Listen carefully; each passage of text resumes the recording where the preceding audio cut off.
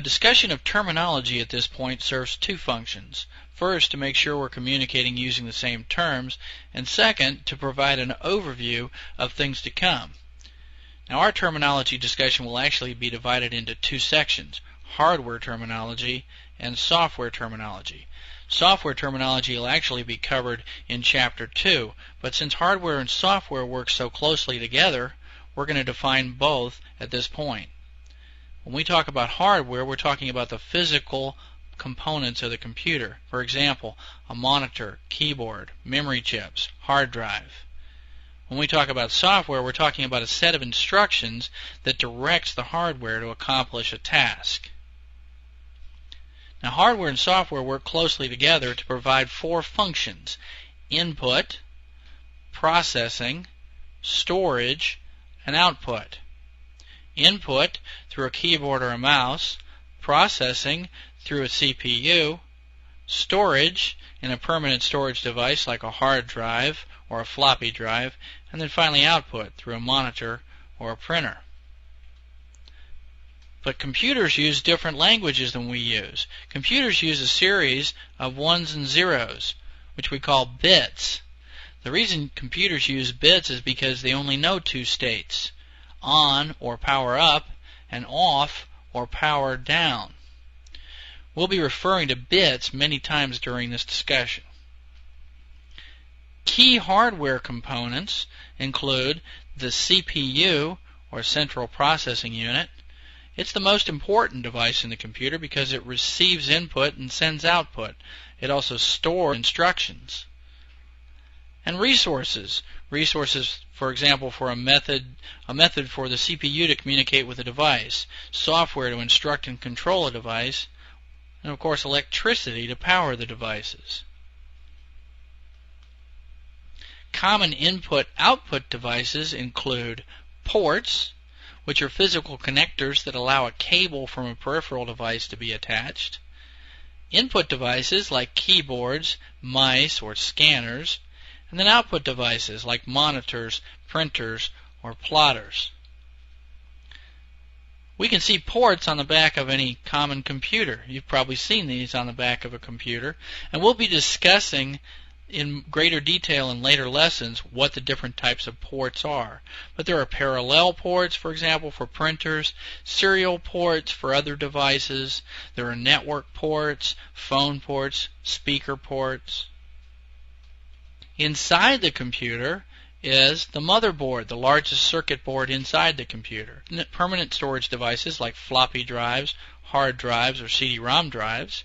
A power supply, which provides the power for the entire computer. Other circuit boards, and then ribbon cables, which connect everything together, providing data as well as electricity.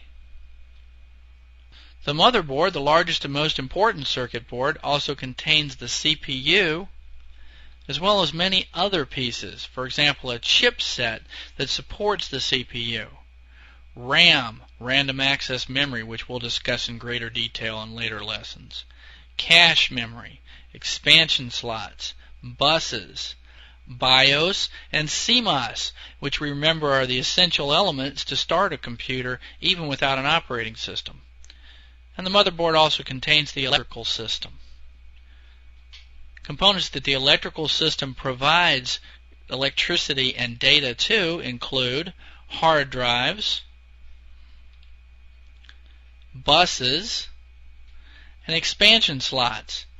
Expansion slots, types of expansion slots are PCI, which is used for high-speed input-output devices, AGP usually used for video cards, and ISA slots, which are used by older and slower devices. We'll be discussing these in greater detail in later lessons as well. We can follow the logical path through the computer by looking at the bus lines on the bottom of a motherboard starting underneath where the processor is installed. We can follow the bus lines through the motherboard to the expansion slots to see how everything is connected. Expansion slots allow the computer to be expanded with devices, for example, a sound card. This is a picture of a sound card installed in an expansion slot.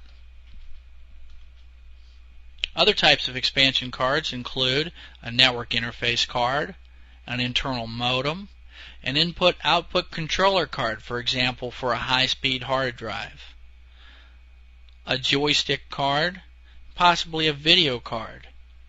You can always tell a video card because it has a 15 pin, three row video port.